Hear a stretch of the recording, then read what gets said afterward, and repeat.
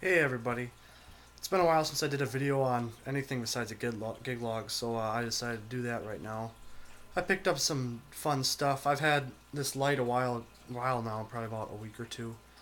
And um, I picked this little guy up. This thing is really small. If you can see underneath, I have my regular regular style laptop on top or on the bottom of it, and um, it's really tiny. Like if I close the lid, uh, this is how much room I have around it compared to a regular size laptop. So it's about the size of a book. Um, this is what's called an Eee PC. I picked it up at Best Buy. It's only one gigahertz, and um, it'll actually run Mixmeister just fine. I have it all loaded up. Uh, this is about, I'd have to say, if you see the size of my hand, uh, you can kind of make a little comparison.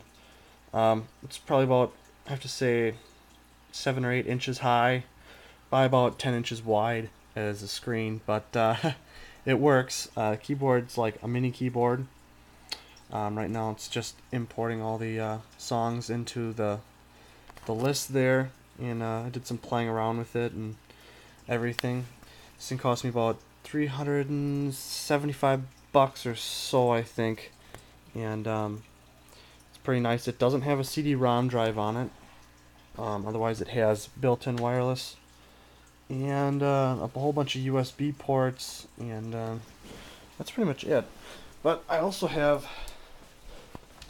I got this this bad boy right here um, a little while ago. This is how I, this is my LED light bag. All, all everything in this bag is LED. And then, uh.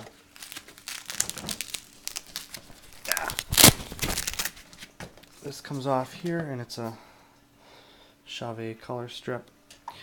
Um, I had to do a little bit of a modification though because I didn't want to drill into my T-bar. Now this is the top part of my T-bar and you see it's square, it's not round. It's got holes in it.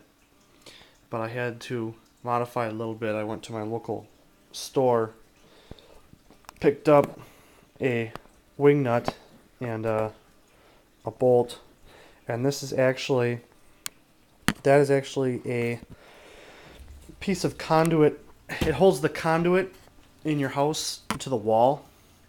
So this is this part would actually go onto your um, masonry, and this would hold the conduit that holds all your wiring for your house that goes to different rooms. And I just clamped that thing on there real tight, and it doesn't want to go anywhere. And just the way I have it, I have this corner set right there, and this corner right there, and then this corner goes right through there.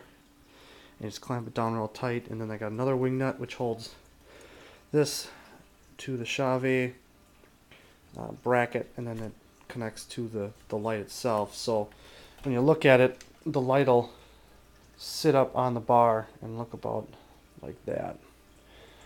So that's my little little modification of the day. This light works great and I'll be using it in future gigs.